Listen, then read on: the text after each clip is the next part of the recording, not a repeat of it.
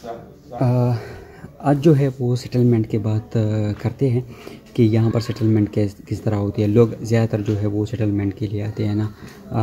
क्योंकि स्वीडन जो है वो वीज़ा देते हैं और फैमिली को वीज़ा देते हैं तो ये एक बेस्ट अपॉर्चुनिटी है। तो ज़्यादातर लोग यही कह रहा है कि मतलब ये सेटलमेंट किस तरह होता है और ये मतलब कैसा होगा ना।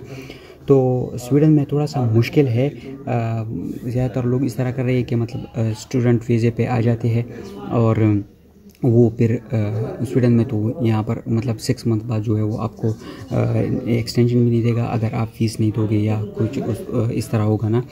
तो ये लोग ज़्यादातर क्या क्या करते हैं कि ये पुर्तगाल और इटली जो है वहाँ पर चले जाते हैं यहाँ से या मतलब डायरेक्टली जो है वो फ़्लाइट वहाँ से लेते हैं और वो मतलब पुर्तगाल और इटली वगैरह वहाँ पर चले जाते हैं। तो वहाँ पर जो है वो पेपर्स बनाते हैं और पेपर्स तकरीबन वो एट मंथ्स और वन वन ईयर में तकरीबन वो कंप्लीट हो जाता है। तो आपको आ, मतलब वहाँ का टू ईयर का रेजिडेंस परमिट मिल जाता है। तो आपको फैमिली का फैमिली का फैमिली को भी मिल जाएगा और आपको भी मिल जाएगा। तो वहाँ पर आप काम करो और मतलब टैक्सीज जमा करते रहो। ये लोग इस तरह भी कर रहे हैं और ये इस तरह भी कर रहे हैं कि वहाँ पर अप्लाई करते हैं और दूसरी कंट्री में चले जाते हैं वहाँ पर अपना काम जो है वो करते हैं और टैक्सेस जो है वो ऑनलाइन सबमिट करते हैं। तो वो भी एक प्रोसेस है। अगर आप सेटलमेंट के लिए आना चाहते हो तो सेटलमेंट के लिए पुर्तगाल का ऑप्शन जो है वो अभी बेस्ट है।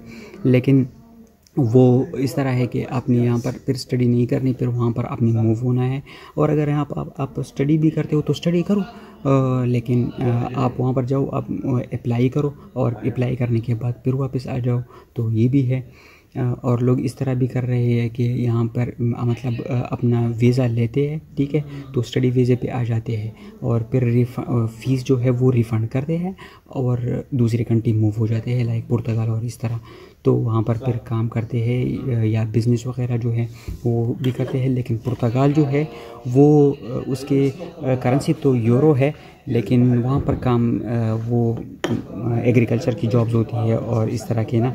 तो वहाँ पर भी काम मुश्किल है, लेकिन थोड़े से पैसे मिलते हैं, लेकिन वहाँ पर इस तरह है कि आपको पेपर्स मिल जाएँगे तो ये बेस्ट ऑप्शन है। पेपर्स की वजह से मतलब लोग पेपर्स के लिए आते हैं तो पेपर्स जो है वो वहाँ पर अच्छे और बहुत अच्छे तरीके से बन जाते हैं। तो ज़्यादातर लोग जो है वो ये तरीका अपनाता है। तो मैं भी आपको मतलब अगर आप इस तरह करना चाहते हो तो ये भी मैं आपको रिफ़र कर सकता हूँ कि मतलब ये, ये इस तरीके से इस, इस तरीके से करें ना। और दूसरा प्रोसेस जो है वो स्टडी का था। तो स्टडी अगर आप करना चाहते हो तो आप स्टडी करो और फिर जो है वो आप प्रोफेशनल जॉब के लिए अप्लाई करो। प्रोफेशनल जॉब आपको मिल जाए तो वर्क परमिट मिल जाएगा। तो वर्क परमिट के बाद आपका जो वीज़ा है या फ़ीस है, जो फ़ीस आप मतलब वो फिर आप नहीं दोगे क्योंकि वो आपके लिए फ्री होगा। तो अगर आप स्टडी के लिए आना चाहते हो तो फिर स्टडी के लिए ये प्रोसेस है।